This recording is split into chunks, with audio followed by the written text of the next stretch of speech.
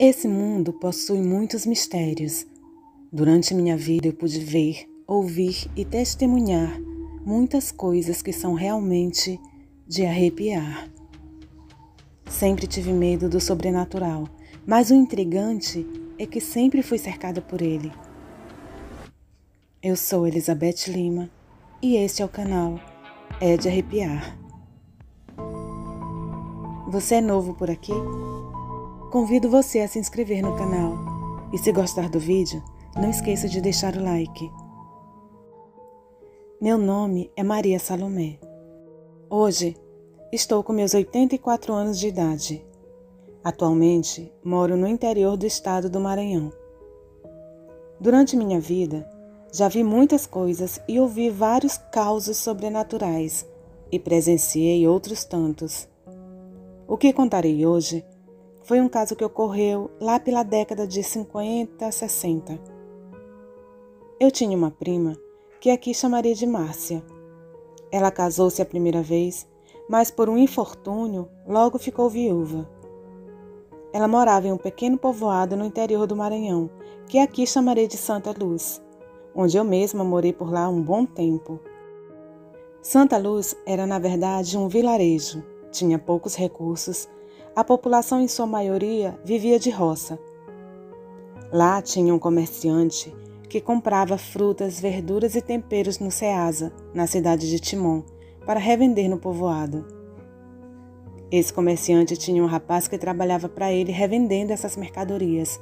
Seu nome era José.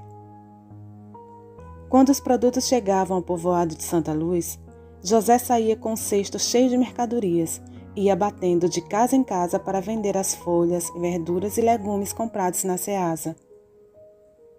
Ele passava por quase todas as casas e assim ele encontrou a prima Márcia. Enquanto ele passava vendendo as verduras, eles se conheceram. Com o tempo, se aproximaram e começaram a namorar. O povo, prestando atenção naquele lance dos dois, começaram a dar ideias para que eles se casassem.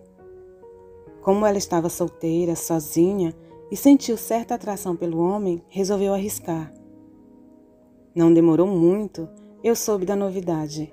A prima Márcia iria se casar novamente. Ficamos felizes com o casamento dela, pois ela vivia sozinha e era bom arrumar um companheiro.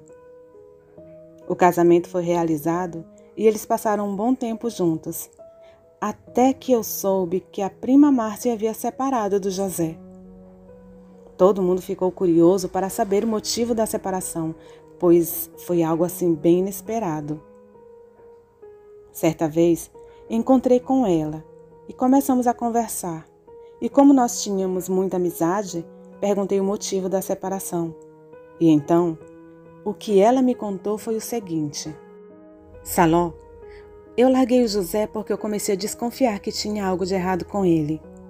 Com a convivência, eu passei a ver que ele não era normal. Ele tinha uns hábitos esquisitos, uns sumiços fora de hora. Havia algo de muito estranho com ele. Durante nossa intimidade, ele tinha um comportamento diferente. Fazia uns sons estranhos, uns rugidos, grunhidos, que mais pareciam um animal. Aquilo começou a me apavorar, pois era muito esquisito. Comparado ao primeiro marido dela, Aquilo era assustador. Ela disse que ficava com medo e prometeu a si mesma que iria largar esse homem, pois estava certa que tinha algo de muito errado com ele. Quando foi uma certa noite, lá pela madrugada, ela percebeu que José levantou e saiu de fininho, indo em direção ao quintal da casa. Ela percebeu que ele ia sumir novamente. Então, ela levantou e foi atrás, para ver o que acontecia por ali. Ela se dirigiu em direção ao quintal da casa. Ela começou a ouvir o barulho dos porcos, das galinhas, tudo alvoroçado, e saiu devagar para ver o que estava acontecendo. Quando ela chegou na cozinha e abriu a parte de cima da porta, ela conseguiu ver no meio dos animais um ser diferente e ouviu barulhos estranhos, um grunhido amedrontador de arrepiar. Ela viu um animal grande, forte, que se parecia muito com um cachorro, mas não era um. Tinha muitos dentes na boca, olhos brilhantes e era muito preto. Esse animal, quando a viu, correu em direção à rua e os cachorros que estavam por lá todos começaram a latir e a correr atrás do bicho. Então, ela, assustada, entrou para o quarto e ficou ali deitada na cama, sem conseguir dormir e pensando no que tinha visto. E o marido, que havia levantado na surdina, nada de aparecer. Ela permaneceu acordada o restante da madrugada, esperando-o voltar. E uma coisa não saía de sua cabeça. O marido havia se levantado, ido em direção à cozinha. Ela passou a ouvir barulhos estranhos e viu um tipo de animal que ela nunca havia visto.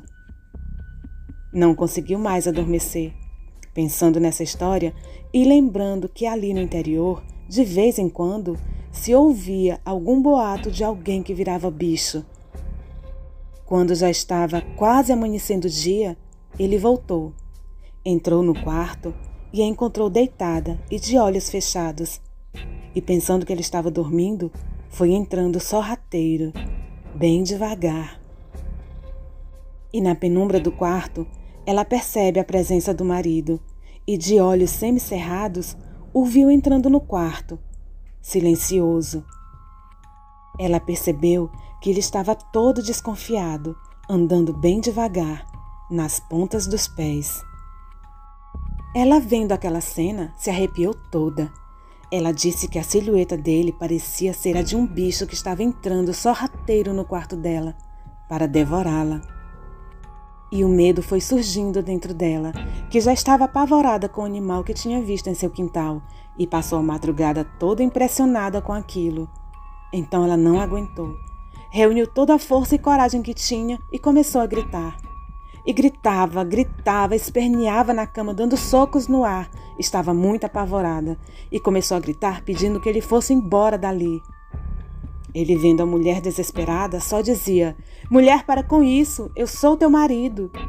E ela, histérica, gritando, apavorada, dizia que não o queria mais como marido e foi aquela gritaria. Ela não quis mais saber dele. E ele teve que sair de casa. E assim terminaram o casamento.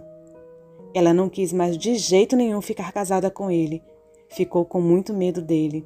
E ficou cismada que ele era o bicho que havia visto no quintal de sua casa. Então, cada um seguiu sua vida. E foi esse o motivo do término do casamento da minha prima. Eu ouvi essa história da boca dela. Boa noite. Nossos agradecimentos à Dona Maria Salomé, que gentilmente nos contou seu relato. E se você souber de alguma história parecida, sabe escrever contos e quer tê-los narrados aqui no canal, basta enviá-los para nós. Nosso e-mail e WhatsApp estarão na descrição do vídeo. A todos, o nosso muito obrigada pela companhia.